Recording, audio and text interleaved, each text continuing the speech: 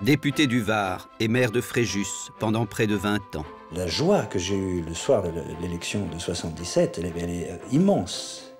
Parce que j'avais le sentiment d'avoir cassé la gueule à celui qui a fait casser la gueule à mon père. Leader charismatique de la jeune garde du centrisme, que la presse surnomma la bande à Léo. Président du Parti républicain, puis président de l'UDF, fondé en soutien au président Giscard d'Estaing.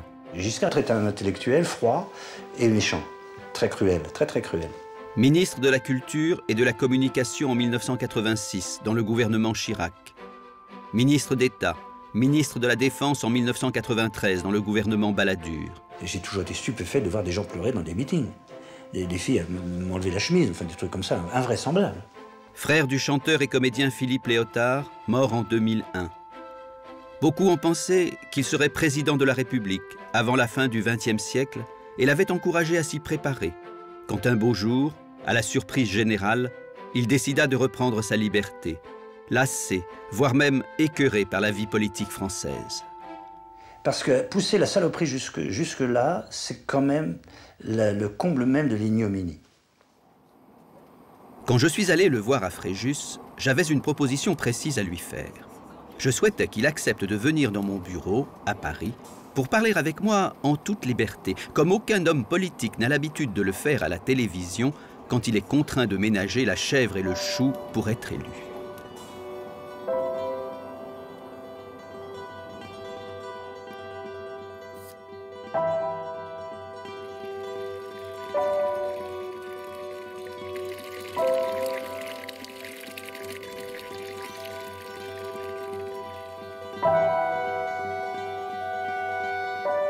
François Léotard accepta le challenge et comme j'étais chez lui, il me conduisit dans une remise au fond de son jardin, là où dormaient plusieurs mâles remplis de souvenirs, de notes, de photos, de discours.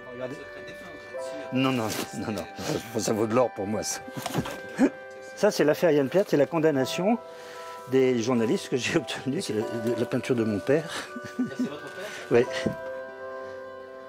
Elle est belle cette photo, elle est incroyable. Vous êtes où là? Là, je suis là. là. Euh, c'est à la fois des photos, des textes, des documents, des interviews. Il m'a dit Prenez ce que vous voulez et rendez-vous dans 15 jours.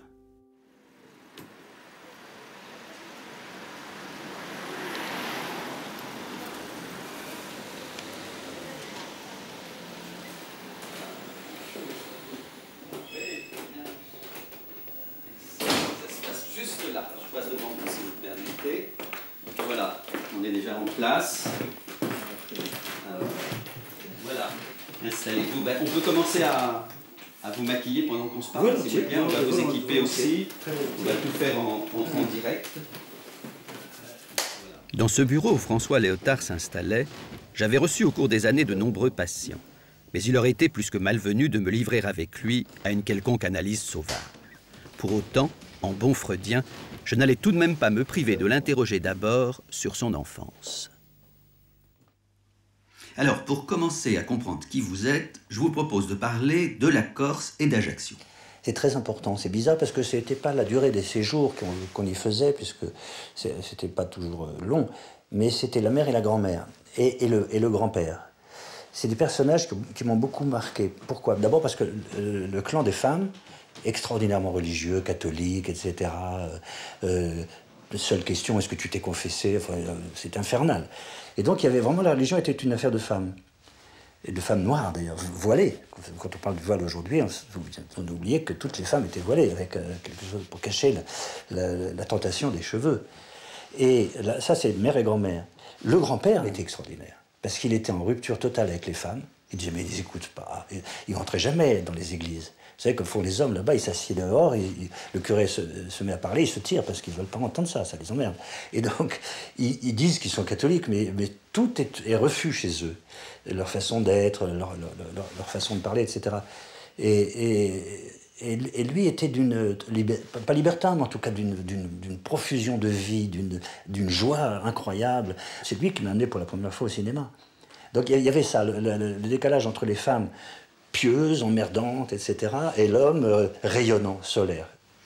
L'autre ville de votre enfance, c'est Fréjus. Et Fréjus, c'est le père. un père avec qui les relations étaient pour le moins difficiles, et pour vous comme pour votre frère Philippe. Je redécouvre cette réalité, c'est vrai. C'est le père à tous les sens du terme. J'ai vu que ma sœur avait fait un livre dans lequel elle disait, quand j'ai été euh, élu président du PR, elle disait, mais le père, pour lui, c'était le père. Et euh, c'est vrai parce que d'abord, c'est cette, image romaine, parce que c'est un romain, euh, au sens, d'abord, impressionnant, impressionnant, un peu, un peu fort, un peu, pas corpulent, mais bien, bien portant, très, très élégant, toujours jamais quelque chose de déplacé, etc et euh, autoritaire. Les baffes, on en a pris quand même. Euh, si vous ajoutez à ça que le père était euh, maurassien de culture, il, a vu Charles Maurras comme professeur à Aix-en-Provence, et que nous avions le cœur à gauche, ça fait beaucoup. Des conflits entre ce, ce père-là tel qu'il était et cet insurgé permanent qui était Philippe, c'était extrêmement violent quelquefois. Moi, j'étais beaucoup plus doué pour la négociation, si je veux dire. L'affrontement était moins fort, il était réel intellectuellement, mais il était beaucoup moins fort. Votre père était lui aussi un homme politique. Euh, avant vous, il avait été le maire de Fréjus et il fut confronté dès les premiers mois de son mandat à la catastrophe de Malpassé qui ravagea la ville. Oui, oui, on a grandi dans cette atmosphère puisque comment dire D'abord, il, est élu maire de Fréjus en mars 1959. La catastrophe du Malpassé a eu lieu en, le 2 décembre 1959. Donc, il était nouveau maire et euh, il arrive ce désastre avec quelque chose comme 500 morts. C'était, mes, si j'ose dire, mes premiers cadavres. Souvent, c'était des copains. Beaucoup d'enfants sont morts. Et, donc, on a essayé d'aider à restaurer la ville, et, parce que les, cadavres sont restés assez longtemps. C'était un tel désordre que, que c'était euh, pénible. Quand il est revenu à, Vincennes, il, nous a donné son manteau, il dit Tiens, prends ça, ça sent la mort. Et il a affronté ça avec un, vraiment un courage, euh, encore une fois, romain, lançant des appels à la radio et à la télévision pour avoir de l'eau, parce qu'il n'y avait plus d'eau. Et il a été très bien. Le général de Gaulle euh, l'a reçu, c'est donc en 59. Et il lui a dit euh, Je vous ai entendu hier à la télévision, et c'est bien, vous n'avez pas fait de démagogie. C'est pourtant cette catastrophe qui sans doute l'empêchera plus tard d'être réélu, puisque ses, ses, adversaires politiques avaient mis en cause sa gestion de l'indemnisation des victimes. Il l'accusait de quoi en fait? D'avoir détourné des fonds? Non, pas détourné, jamais. Mais d'avoir fait preuve de parti pris.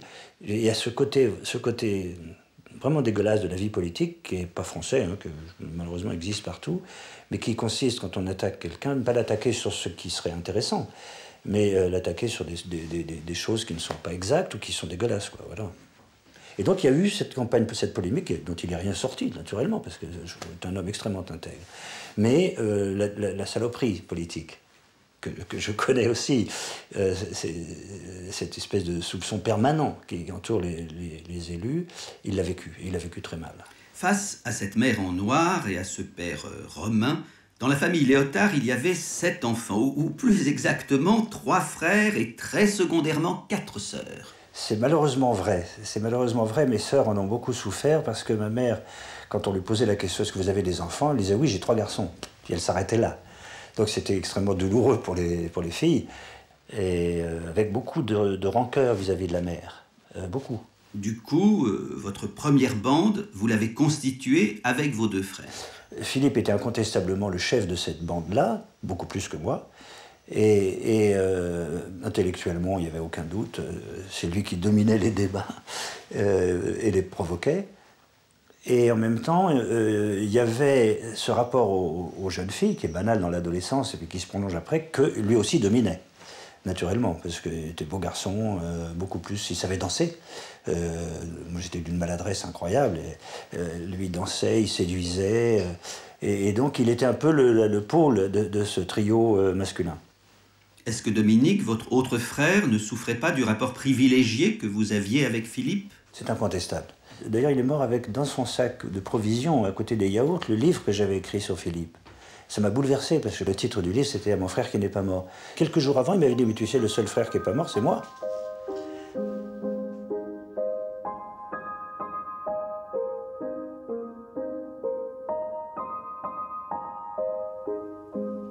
Tous les témoignages qu'on a sur vous vous montrent comme un enfant puis un adolescent en retrait, adorant le silence. je, crois que tout ça est vrai. Euh, je crois que c'est une réalité qui m'a ensuite poursuivi toute ma vie avec l'énorme contradiction qui a consisté pendant quand même euh, plus d'une vingtaine d'années à choisir la vie publique, qui est une vie de parole, une vie d'engagement public, d'image. De, Pourquoi? Alors que lorsqu'on me posait la question qu'est-ce que tu veux faire, je disais je voulais être gardien de phare ou libraire selon les cas, sur le moment, c'est-à-dire une vie de solitude. Pourquoi j'ai choisi à, plusieurs moments, parce qu'après après, il y a eu des élections sans arrêt, euh, de, le contraire. C'est très curieux.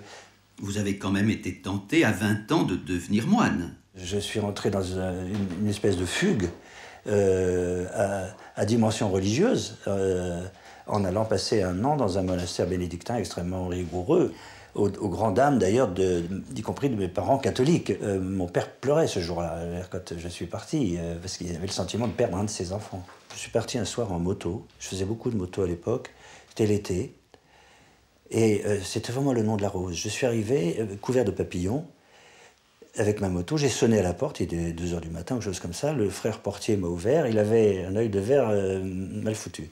Et me dit Qu'est-ce que vous voulez je, je, veux voir d'abord si ça me convient, mais je vais rentrer. Euh, là.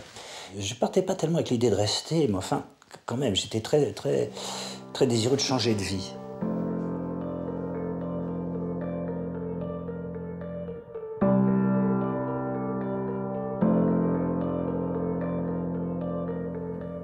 Le fait est que l'expérience a duré un an. À quoi ressemblait votre vie au monastère? C'était dur, c'était très dur. Vous savez qu'il y a plusieurs euh, filières dans, la, vie monastique. là, c'était un ordre de bénédictins, entre guillemets, dit de la primitive observance, c'est-à-dire qui, observe la règle de Saint-Benoît d'une façon extrêmement stricte. Par exemple, avec le lever de nuit. Vous vous levez à 2h du matin et vous vous recouchez à 3h30 après, après des prières, etc. Le travail manuel, le, le silence total. Euh, on on parle pas, on parle avec des gestes. Et c'était très beau.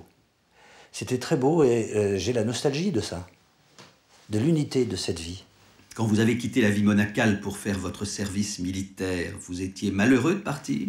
Les jours qui ont suivi mon départ, euh, j'étais dans une situation d'immense pauvreté. J'avais rien. Il faisait froid. J'étais seul. J'arrive à Paris, je me souviens très bien, je vois des gens riches, avec des femmes, avec des voitures, avec de l'argent. J'avais rien de tout ça. Et ils étaient tristes. Et moi, j'étais profondément heureux. Et je, m'étais dit, je ne vais pas rester dans ce monde-là, celui que les gens considèrent comme le monde normal. Euh, voilà, après, par peut-être lâcheté successive, peut-être par habitude, peut-être par consentement à tout ça, j'y suis resté. Mais à peine arrivé à la caserne, vous vous êtes singularisé et avez fini au trou, vous, un futur ministre de la Défense. Euh, j'étais totalement rebelle alors. Oui. Et heureusement, à l'époque, je ne l'ai pas trop dit parce que les militaires n'aiment pas trop ça, mais ils ont tort. Euh, j'avais 20 ans, quelque chose comme ça. Et on me fait courir, alors que j'étais pas mauvais. moi, j'arrête, bah, c'est complètement idiot. L'adjudant dit tu, continues. Hein. J'ai dit pardon. Il me dit tu continues. J'ai dit je t'emmerde. Bon, évidemment. Euh, et, et, ça, immédiatement, le capitaine, mon vieux, etc., le trou, en fait. je ne pouvais pas supporter d'être derrière quelqu'un avec la même tête. Il paraît que le jeune rebelle que vous étiez a eu le cœur à gauche, qu'il a même voté pour Mitterrand en 1974. Vous avez été militant socialiste?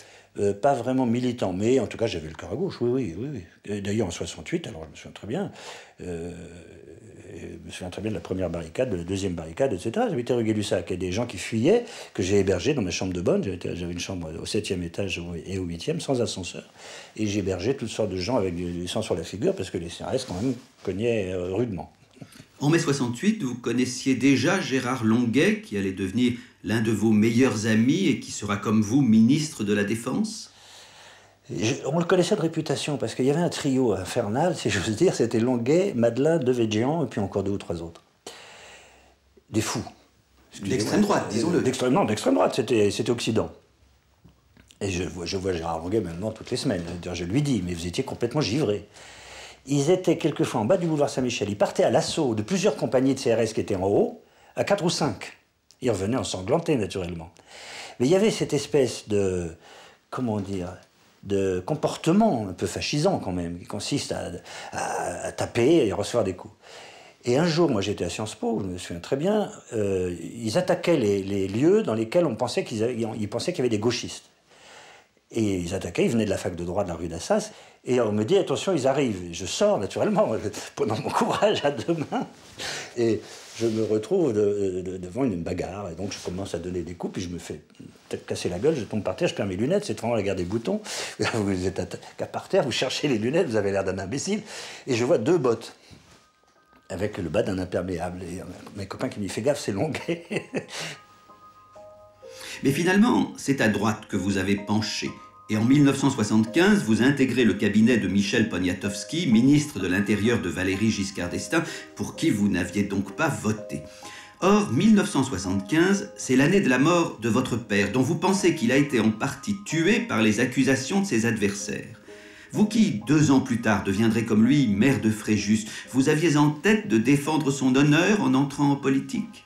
Le, jour des obsèques de mon père, toute la ville de Fréjus était euh, dans les rues. un cortège de plusieurs euh, centaines, milliers de mètres. J'étais derrière avec, ma mère, avec mes frères. Et ça, c'était vraiment Rocco et ses frères. Hein. Et ma mère me dit euh, François, je compte sur toi, il faut que tu le venges. Moi, j'étais donc une arc, sous-préfet, etc. Et j'ai rien dit, mais j'avais ça en tête, c'est tout à fait vrai. Battre celui qui avait battu mon père, ça c'est tout à fait vrai.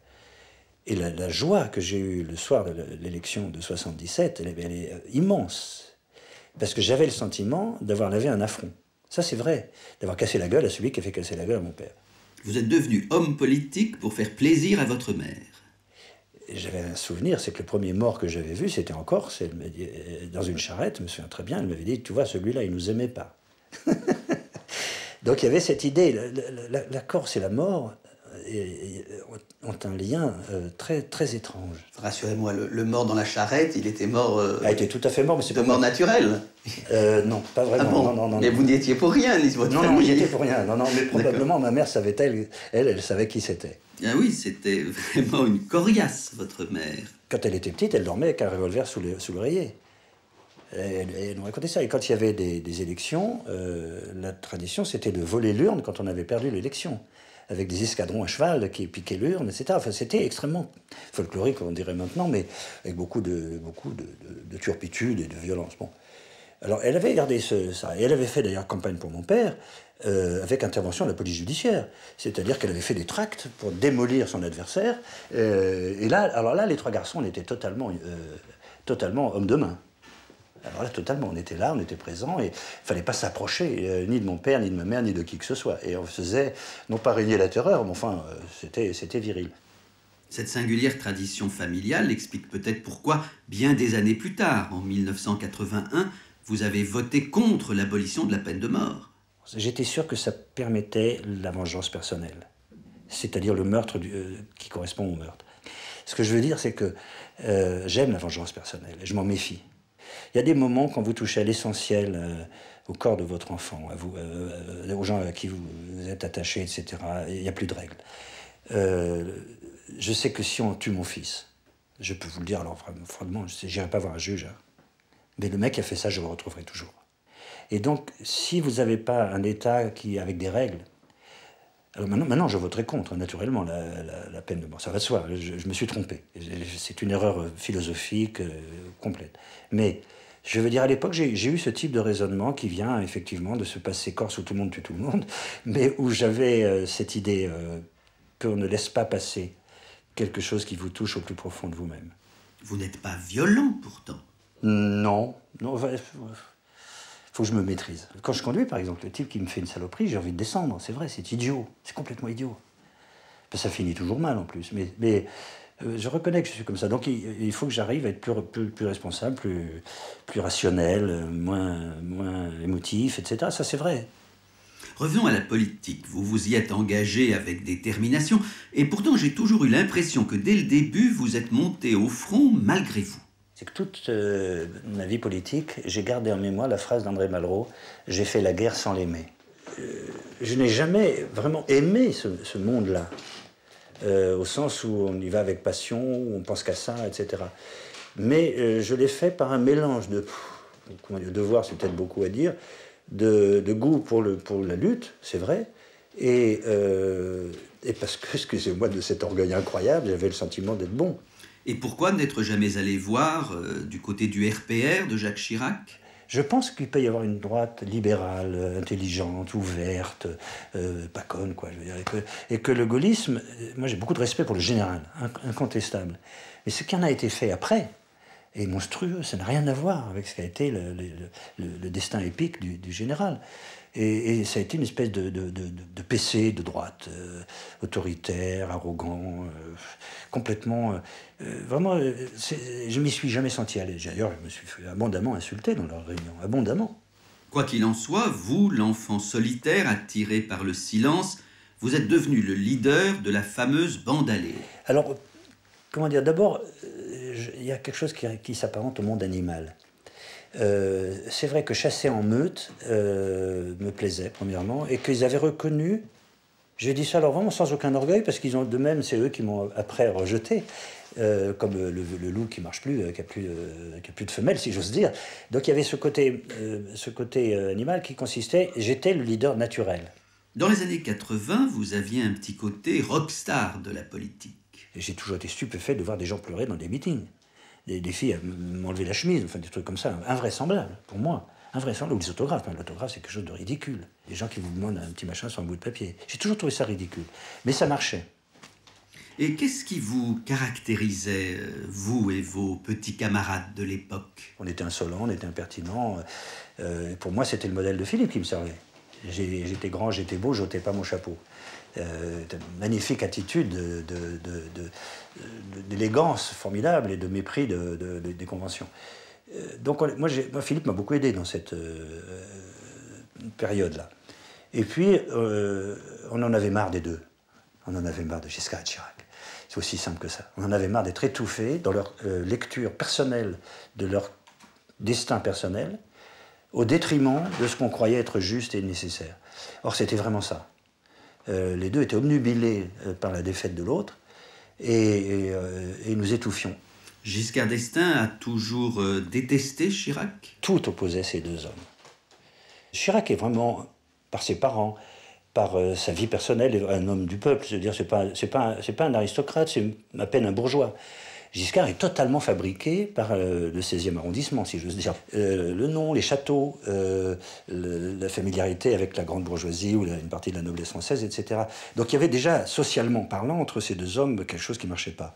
Il y avait, électoralement parlant, une rivalité considérable et des comportements qui étaient insupportables. un jour, j'assiste à une réunion, Chirac arrive en retard. Il y avait Giscard, il y avait Juppé, il y avait moi, bon, on attendait Chirac. On attend un quart d'heure, 20 minutes. Giscard était là. Une demi-heure. Arrive essoufflé, euh, Chirac de base, et euh, il dit oh, Excusez-moi, monsieur le président, bah, excusez-moi, je suis en retard.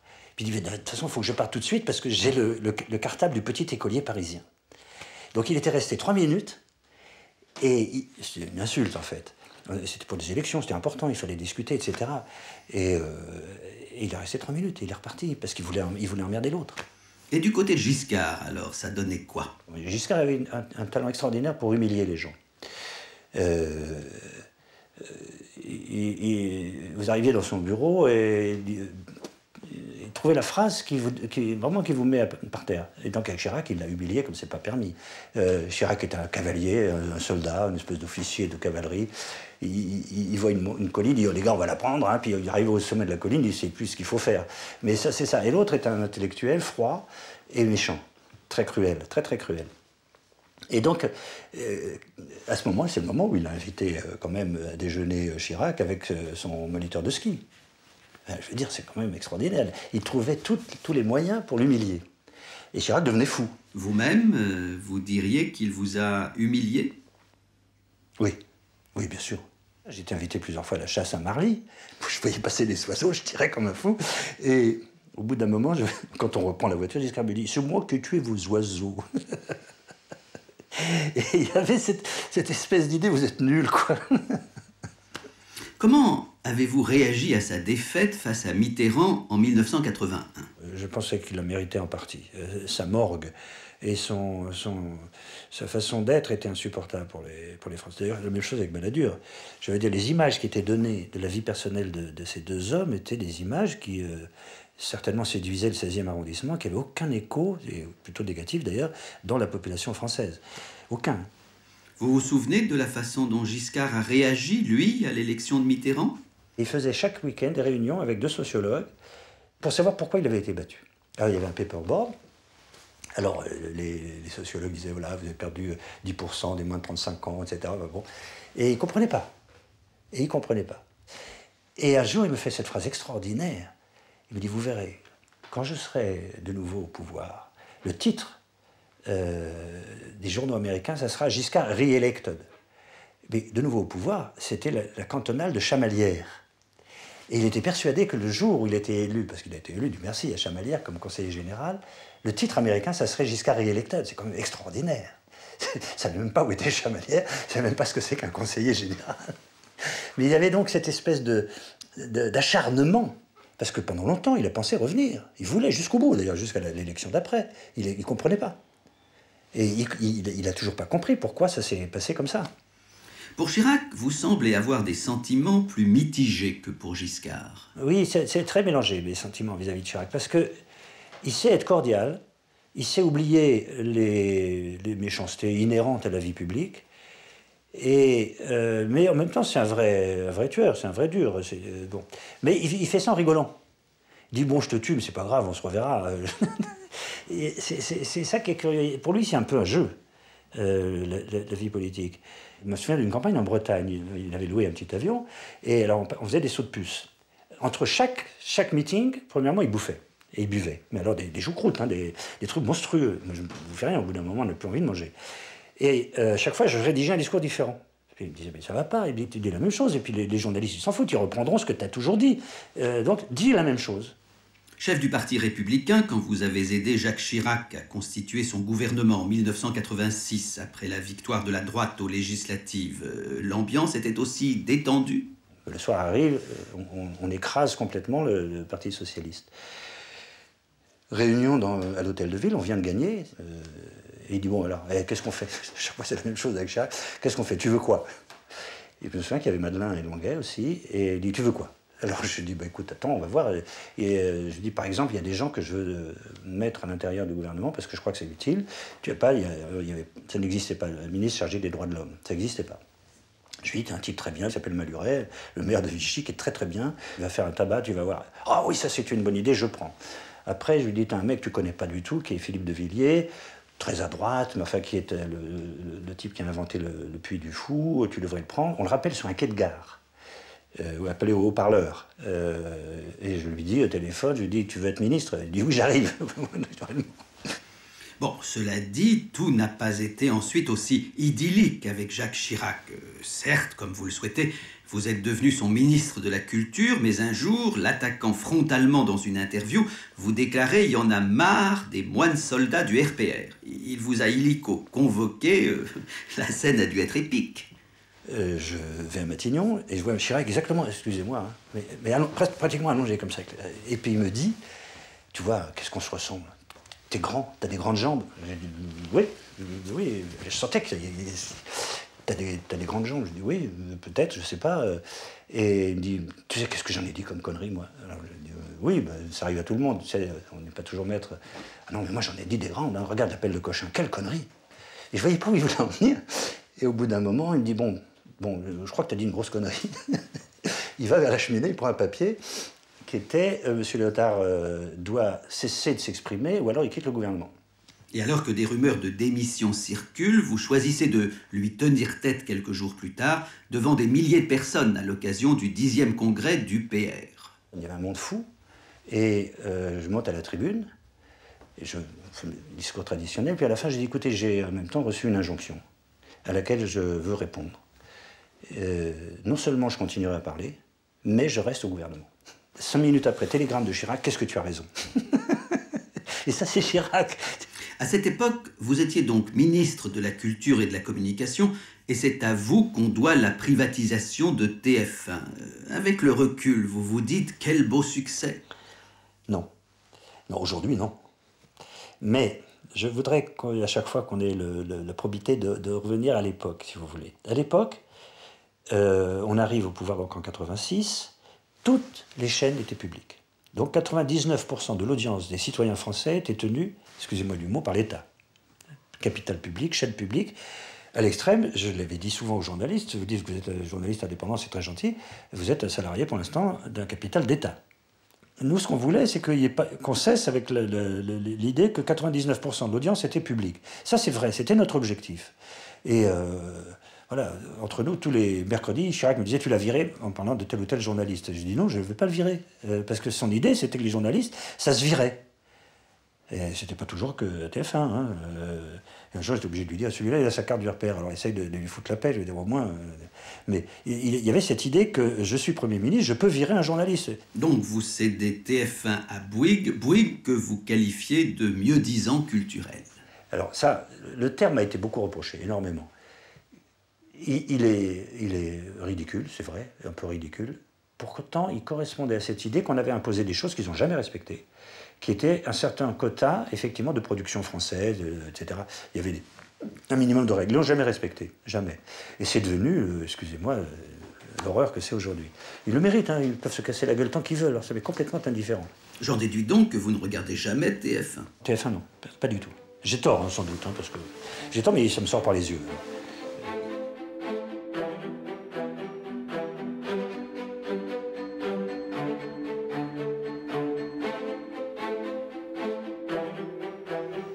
Après la culture dans le gouvernement Chirac, vous avez été à la défense dans le gouvernement Balladur. Vous aviez la haute main sur les militaires et sur les espions. Euh, notre République a beaucoup de secrets? Heureusement, oui. je suis totalement contre la transparence totale. Je trouve ça c'est une mode qui m'énerve. Euh, un État a le droit de défendre ses intérêts, si j'ose dire, par tous les moyens. Euh, l'idée d'un État totalement transparent est une idée stupide. Mais stupide. Il y a des moments où voilà, il faut faire des choses, et puis vous les faites. Il en serait les, les, nigauds du coin si on ne le faisait pas, vraiment. J'ai eu un jour à, répondre à un magistrat, euh, la douce Madame Jolie, si j'ose dire, une folle furieuse, naturellement, euh, lui dire qu'elle n'avait pas à savoir quel était l'usage des fonds secrets. Elle était folle de rage. Elle dit Madame, non, je suis désolé, vous n'avez pas à le savoir. Il y a un principe de séparation des pouvoirs. Vous représentez la justice, c'est très bien, c'est nécessaire. Moi, je représentais l'exécutif. Et donc ces fonds, par définition, ils sont, pas, ils sont opaques, par définition. Ils ont même dans la loi la nécessité d'être opaques. Pourquoi sont-ils en espèces d'ailleurs? Parce que vous ne payez pas un espion avec des chèques. Après avoir été votre Premier ministre, Édouard Balladur a été votre candidat à la présidentielle de 1995. Après coup, vous êtes sûr que cet homme était fait pour la politique? Pour une autre forme de politique, je crois, d'ancien régime, oui. à tous les sens du terme. Je crois qu'il n'avait pas. Vous voyez, à plusieurs reprises, euh, avec, des, avec, d'autres, avec, euh, avec Bayrou, avec d'autres, on lui disait Mais allez, allez les mains, regardez, les gens n'attendent que ça. Ah, vous croyez. Euh, enfin, les, bonnes foules, c'est un peu idiot, mais il faut le faire. Je veux dire. et, non, un jour, on l'a monté littéralement sur une table pour qu'il puisse s'exprimer dans un, dans un meeting improvisé. Et donc, il y a un minimum de gestes qu'il ne pouvait pas faire, par pudeur, sans doute. Euh, alors que c'est un homme d'une grande intelligence. Et voilà, donc c'est vrai qu'il était un peu entré là-dedans à reculons, lui, aussi. Mais c'est un haut fonctionnaire, Balladur. C'est quelqu'un qui aurait aimé sans doute rester dans le secret des cabinets ministériels. C'est un homme de l'ombre, qu'on a sorti, euh, ou qui s'est sorti lui-même de l'ombre. Et Nicolas Sarkozy, que vous avez connu tout jeune, qu'est-ce qui vous frappait chez lui? Quand euh, nous avions soutenu Édouard Balladur, nous avons été jetés littéralement à la porte après, cette élection par Chirac. Nous avons passé des vacances ensemble à Biarritz avec sa femme, à l'époque Cécilia, et, la mienne. Et euh, on jouait au tennis le soir, on discutait, etc. Et j'étais frappé. Vous savez, à un moment, on rentre dans l'aéroport, euh, la défaite, tout le monde la connaît, c'est la nôtre. Tout le monde savait que c'était Chirac qui nous avait battus. Et il y a un flic qui, nous salue. il me prend par le bras et il me dit Tu as vu, on n'est pas mort. Hein et cette espèce d'énergie euh, incroyable qu'est la sienne, ça m'avait fasciné. Pourtant, une fois qu'il est devenu président, vous n'avez pas été tendre avec lui. J'ai déploré chez Sarkozy cette espèce d'ivresse de, qui, vient probablement, je crois, du mot grec hubris, de, folie du pouvoir. C'est-à-dire, j'appuie sur un bouton, ça marche, c'est incroyable, c'est un jouet. Euh, euh, et donc, euh, quand j'ai vu que ça tournait un peu au narcissisme, ce qui est vrai, et à l'excès de pouvoir, ce qui est vrai aussi, et en même temps à une dérive vers des thèses et, qui n'étaient pas les miennes, je pense notamment sur les étrangers. Après, petit à petit, ça s'est aggravé sur les corps intermédiaires, sur un certain nombre de choses. Il a dit exactement le contraire de ce que je pense. Et donc, euh, et puis les pratiques euh, policières ou autres. Et donc, euh, j'ai été assez choqué, je reconnais. Un mot sur celui qui fut votre président chaque fois que vous avez été ministre. On dit qu'au-delà de vos divergences politiques, vous étiez proche de François Mitterrand, notamment à la fin de sa vie. Il y a un moment où vous avez de la compassion pour, pour l'adversaire, ou en tout cas de l'affection. Et tout le monde savait que j'avais des conversations avec Mitterrand. Et on parlait de Marguerite Duras, on parlait de La douleur, on parlait d'un certain nombre de livres, et, parce qu'on parlait tout le temps de bouquins avec lui. Mais moi, j'y trouvais plaisir. Euh, et il y avait une espèce de complicité, c'est vrai. Vous partagiez tous les deux la même fascination pour la mort et le tragique. Ça, certainement. Ça, certainement. Euh, vous savez, un jour, on était, je crois que c'était devant un soldat mort, et il me dit, vous savez, autour de lui, là, ici, maintenant, à cet endroit-là, il n'y a que lui qui ne sait pas qu'il est mort. Et euh, il parlait que de ça. Ce qui fait qu'après après son départ de la présidence de la République, euh, je suis allé le voir dans, dans, la maison dans laquelle il était. Il était allongé, il souffrait terriblement. Et euh, on a parlé de ça, de sa fille, de Mazarine, et en même temps de, de, de, la mort. Il, il parlait que de ça. Et le dernier Conseil des ministres, une seule personne prenait des notes, moi j'en ai pas pris. C'était Sarkozy. Et il s'est tourné vers la fenêtre. Alors il a commencé d'abord en disant Ça, vous savez que je vous aime pas. Vous savez que je vous ai toujours combattu. Et vous savez que vous m'avez toujours combattu. C'est la dernière fois que je vous vois. C'était extraordinaire. Puis il se tourne vers les fleurs et dit Voyez, les fleurs qui sont là, elles resteront. Moi, je ne serai plus là. Et les fleurs, elles resteront, le jardin, il restera, la France, elle restera. C'était très très beau, très émouvant, et euh, on assistait au départ d'un mourant. Plusieurs affaires ont terni votre vie politique. Ne, tournons pas autour du pot. François Léotard, coupable ou non coupable? C'est quand même extraordinaire. Moi, j'ai jamais eu le moindre soupçon d'enrichissement personnel, par exemple, dans l'histoire du financement du Parti républicain. Jamais. Donc, après, il reste une espèce de halo. Vous êtes un homme politique, donc vous êtes nécessairement quelqu'un de bizarre sur ces questions-là. Euh, en, ne voulant pas voir le, monceau d'immondices qui pèse sur la vie médiatique française. Mais alors euh, là, ça sent l'ordure, hein, vraiment. Donc là, on dit rien. Deux journalistes vous ont même accusé dans un livre d'avoir fait assassiner la députée Yann Pia. Alors c'est aussi une de mes fiertés, si j'ose dire, parce que j'ai fait condamner par la justice française en quelques mois, j'avais M. Devedjian comme avocat, euh, pour diffamation à un million de francs de dommages intérêts. C'était la maison Flammarion, à qui depuis je voue une haine sordide, et euh, qui avait euh, fait ce livre. Le directeur juridique a été viré, heureusement, pour avoir laissé passer ça, et j'ai été donc accusé de ça. On peut mettre que le ça, c'est-à-dire militaire, euh, qui assassine une femme, par ailleurs député. Excusez-moi, sur ordre d'un ministre. Je veux dire, on peut difficilement faire plus. Parce que pousser la saloperie jusque, jusque là, c'est quand même le comble même de l'ignominie. Je sais maintenant et je le dis devant vous, que derrière, il y avait M. Marcani. Et derrière M. Marcani, il y avait M. Pasqua. Alors, vous savez, ça fait beaucoup. Ça fait beaucoup. Et donc, faire appel à ce type de, de procédé et de personnes pour démolir quelqu'un quand on n'est pas capable de le démolir électoralement, parce que quelle était la raison? M. Lyotard est le président de l'UDF. Il dit qu'il ne fera pas d'alliance avec le Front National. C'est insupportable, parce qu'on veut l'alliance. Il est président de l'UDF, de deuxième formation de la droite française. Donc il dit ça, on va le tuer. Alors c'est pas physique hein, pour l'instant, mais donc il, faut que politiquement il meure. Et, ça, je peux vous dire, euh, je ne suis pas prêt à l'oublier. Mais que les deux intéressés se souviennent que je le sais.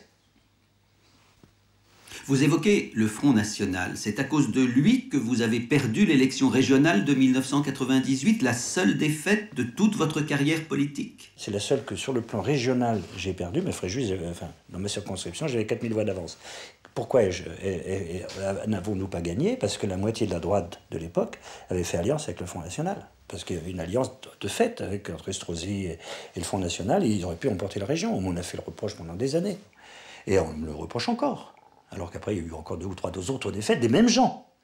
Toujours alliés ou euh, potentiellement alliés avec le Front National. Et euh, euh, qu'est-ce que vous pensez qu'il fait le muselier d'aujourd'hui et les autres tous les, tous, les, tous les gens qui sont à Marseille aujourd'hui, qui ont pollué cette ville, ils sont tous actuellement à faire à discuter avec le Front National, naturellement. Et après, on s'étonne que Marseille soit la ville la plus crade de France, dans tous les sens du terme. Vous, vous n'en continuez pas moins de frayer avec Gérard Longuet, qui disait à Minute que la droite pourrait parfaitement s'entendre avec Marine Le Pen. Je, ben, je, lui ai dit, je, je, vois, je continue à le voir, c'est un ami. Euh, je lui ai dit, je crois qu'un autre, tu sais, non seulement tu, il connaît mes positions, hein, il connaît très bien, il pense que je suis euh, à l'extrême gauche bientôt. Mais, mais j'ai dit, je suis pas d'accord, tu as tort de faire ça, et en plus tu te fais du mal à toi-même. Euh, voilà, bon, non, chacun. J'aime l'homme, l'homme me plaît parce qu'il est solide, il est, il est courageux, mais bon, ce qu'il a dit, c'est une bêtise. voilà, et c'est quelque chose que je ne peux pas partager. Zèbre idéaliste, c'était votre surnom, votre totem quand vous étiez scout. Mais 60 ans plus tard, si le petit François était face à vous et regardait votre famille politique, le centre, le centre auquel vous avez consacré tant d'années de votre vie, ne serait-il pas un peu moins idéaliste? Vous-même, vous ne vous dites jamais tout ça pour ça? Oui, un peu. Un peu. J'ai vu, j'ai vu les principaux acteurs de l'ancienne UDF la couper en morceaux et je cite hein, M. Madeleine d'un côté, M. Bayrou de l'autre, qui sont aujourd'hui victimes totalement. L'un disparaît dans les oubliettes de l'histoire, euh, Madeleine, et l'autre euh, dans les oubliettes des élections. Euh, mais ils l'ont fait sciemment. Ils l'ont fait sciemment. J'étais le Christ aux outrages. J'étais le président de l'UDF et chacun des deux voulait avoir la part d'argent public qui était attribuée à, son, sa formation politique. Donc, un, Mme Madeleine a cassé le Parti républicain en créant Démocratie libérale d'extrême libéralisme. Euh, il voulait privatiser l'armée, je me souviens. Et l'autre, euh, en créant un mouvement à lui, qui est une sorte de poupée gonflable, adapté à sa propre, son propre désir de pouvoir. Euh, je veux dire, au fond, après tout, quelquefois, les branches cassées, elles viennent des gens qui s'y qui s'y sont assis. ça, conforte mon idée de, de, qui va à sa perte, sa perte l'accueil. Sur, François Bayrou, justement, quel regard portez-vous aujourd'hui? Le mystère pour moi, c'est qu'il continue. Je ne comprends pas pourquoi il n'y a, pas un moment, ne serait-ce que par fierté personnelle, on dit écoutez, ça va, hein. maintenant merci, je, je, vous quitte et j'ai ma vie à moi. Ça, ça me fascine.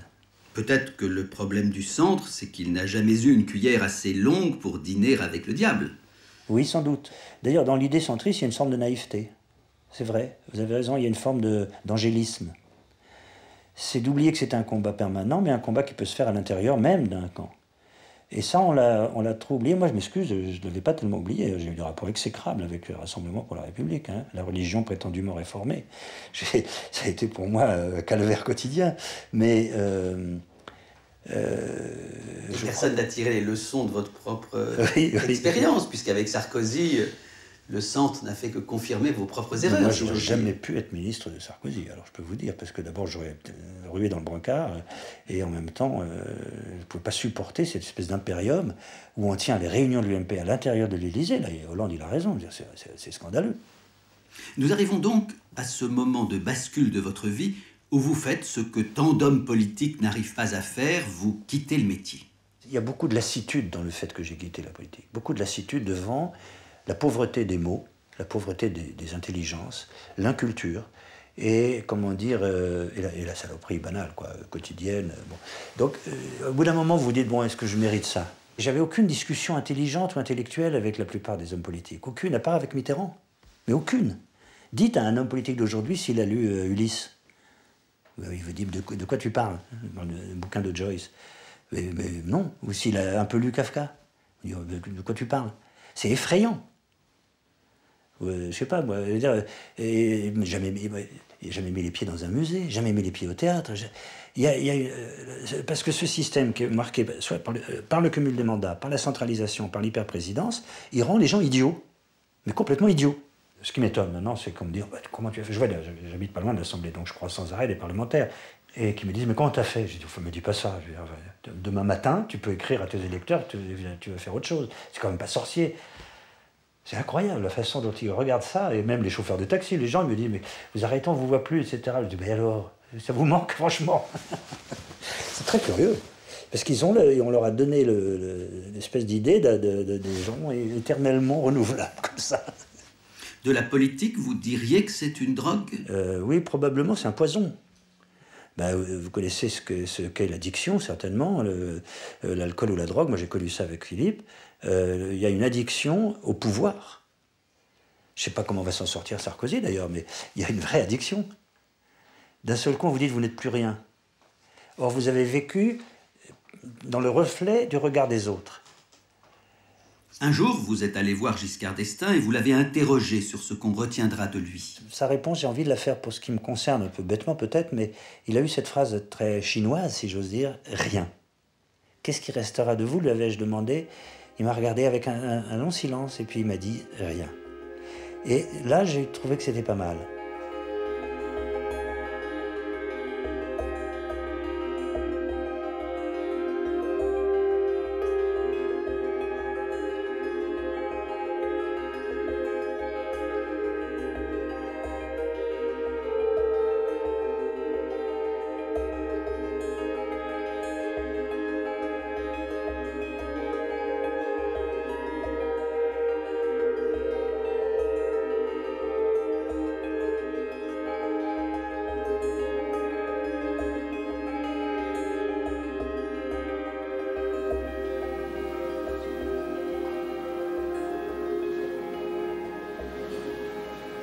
Croyez que votre frère, qui disait de lui Je suis le ministre de la Défense, quand vous étiez vous ministre de la Défense, vous croyez que lorsqu'il vous regardait, euh, homme politique, ministre, il avait le sentiment que vous vous trompiez? Il y avait un mélange. Euh, oui, globalement, probablement, il avait le sentiment que je me trompais. Mais en même temps, il avait sur la République, sur la France, sur euh, la chose publique, un regard extrêmement affectueux. C'est très curieux. Euh, à la fois de fait de dérision, naturellement, euh, mais en même temps aussi de, respect. Il y avait les deux, c'est très, très étrange. Euh, et il y a quelques fois, il venait dans les meetings, il voulait parler. Il fallait que je lui dise non, arrête, tu comprends, c'est parce qu'il était dans un état quelquefois qui ne permettait pas qu'il s'exprime correctement. Mais, mais non, il aimait ça aussi. Mais quand, quand, quand vous pensez en fait à, à votre frère Vous avez le sentiment que c'est lui qui avait raison? Oui. Alors là, incontestablement. Malgré les souffrances que ça implique, parce que sa liberté, il l'a payé très cher. Et euh, cette souffrance-là, je la comprends, je l'ai vécue à côté de lui. Mais euh, incontestablement, la réponse est oui. C'est lui qui avait raison.